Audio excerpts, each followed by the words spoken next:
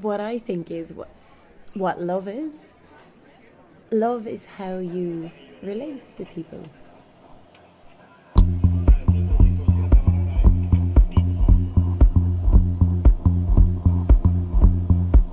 We would live in totally different emotional landscapes. It'd be like a, you know, it'd be like a man taking a walk in the woods with his dog.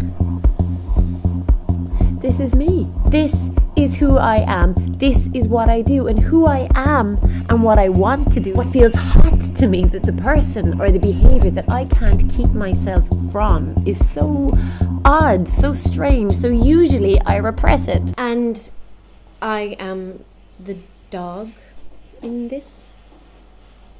It was just an example. If I find myself attracted to a man with bushy eyebrows, or something even more strange like a certain weakness, a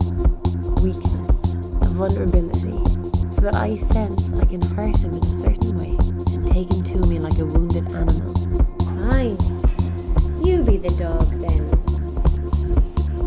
Alright then. I am the dog.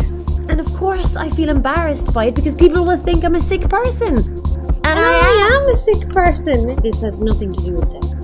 Well, of course, I'm, I'm talking about sex, about having sex with another person. But I get started on a sentence, and that leads to another sentence. And the first thing I know is that I'm trying to follow it through, you know, the logic of it, work it through to the end, because I'm afraid that if I stop or if I don't get through what I'm saying before someone interrupts me, they won't understand what I'm saying. And what I'm saying isn't necessarily wrong. It might be, but not necessarily. And even if it is, I'd be glad to be corrected or change my mind. But if I get stopped, I get confused. I don't remember where I was or how to get back to the end of what I was saying. I sometimes think I scare people because I think I'm like so determined, just barging ahead, and I'm really a sensitive person, whereas in truth, I am! Bam!